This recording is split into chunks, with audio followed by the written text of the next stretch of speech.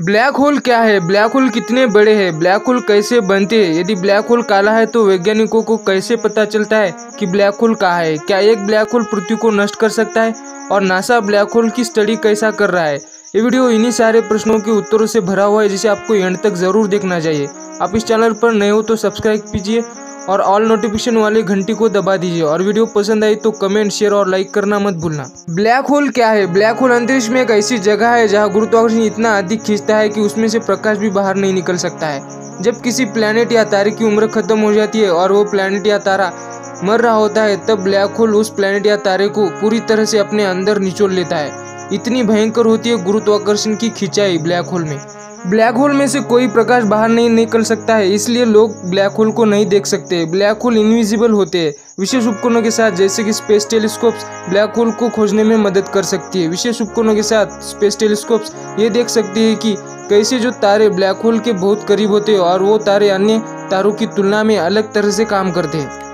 Black hole कितने बड़े हैं? ब्लैक होल बड़े या छोटे हो सकते हैं? वैज्ञानिकों को लगता है कि सबसे छोटे ब्लैक होल सिर्फ़ एक एटम जितने छोटे होते हैं। ये ब्लैक होल बहुत छोटे होते हैं, लेकिन इनका मास, यानी वज़न एक बड़े पहाड़ जितना होता है। किसी भी वस्तु का मास, उस वस्तु में पदार्थों का कितना अमाउंट या उस वस्तु में कितना सामान भरा हुआ इस पर होता है।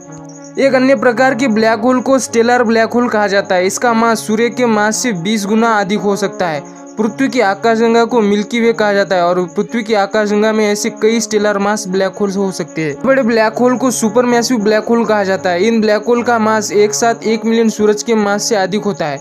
वैज्ञानिकों को इस बात का प्रूफ मिला है कि हर बड़ी आकाशगंगा में एक सुपर मैसिव ब्लैक होल होता है। पृथ्वी की आकाशगंगा मिल्की वे के सेंटर में एक सुपर मैसिव ब्लैक होल है, जिसे सैगेटेरियस ए इस नाम से जाना जाता है। सैगेटेरियस ए का मास लगभग चार मिलियन सूरज के बराबर है, होता है, और ये बहुत बड़ी बॉल्स के अंदर फिट होता है, जो कई मिलियन पृथ्वी को पकड़ सकता है। ब्लैक होल कैसे बनते हैं? वैज्ञानिकों को लगता है कि ब्रह्मांड के शुरू होने पर सबसे छोटे, यानी एक एटम जितने छोटे ब्लैक होल का निर्माण हुआ था। जब एक बहुत बड़े तारे का केंद्र अपने आप गिर जाता है या ढह जाता है तो स्टेलर ब्लैक होल्स बन जाते हैं। जब एक बड़े तारे का केंद्र अपने आप गिर जाता है या ढह जाता है तो ये एक सुपरनोवा तैयार करता है। सुपरनोवा एक ब्लास्ट करने वाला तारा है, जो अंतरिक्ष में तारे के हिस्से को ब्लास्ट करता है। वैज्ञानिकों का मानना है कि सुपर मैसिव ब्लैक होल उसी समय बनाए गए थे, जब वे आकाशगंगा में थे। अगर ब्लैक होल्स ब्लैक है तो वैज्ञानिक कैसे जानते हैं कि वे वहाँ है? ब्लैक होल को नहीं देखा जा सकता है, क्योंकि ब्लैक होल का मज़बूत गुरुत्वाकर्षण ब्लैक होल के बीच में प्रकाश को खींचता है। लेकिन वैज्ञानिक ये देख सकते हैं कि ब्लैक होल के चारों ओर तारों और गैस को ब्लैक होल का मज़बूत गुरुत्वाकर्षण कैसे प्रभावित करता है? वैज्ञानिक ये पता लगाने के लिए तारों का अध्ययन कर सकते हैं कि क्या वे चारों ओर उड़ रहे हैं या ब्लैक होल की परिक्रमा कर रहे हैं। जब एक ब्लैक होल और तारा एक साथ करीब होते हैं तो हाई एनर्जी वाली रोशनी बनती है। इस तरह की रोशनी को इंसानी आँखों से नहीं देखा जा सकता है। वैज्ञानिक हाई एनर्जी वाली रोशनी को देखने के लिए अंतरिक्ष में सैटेलाइट्स और टेलीस्कोप्स का उपयोग करते हैं। क्या ब्लैक होल पृथ्वी को नष्ट कर सकता है? ब्लैक होल अंतरिक्ष में स्टार्स, मून्स और प्लैनेट्स को खाने के लिए नहीं जाते हैं। पृथ्वी ब्लैक होल में नहीं गिरेगी, क्योंकि कोई भी ब्लैक होल पृथ्वी को खाने के लिए सौरमंडल के करीब नहीं है।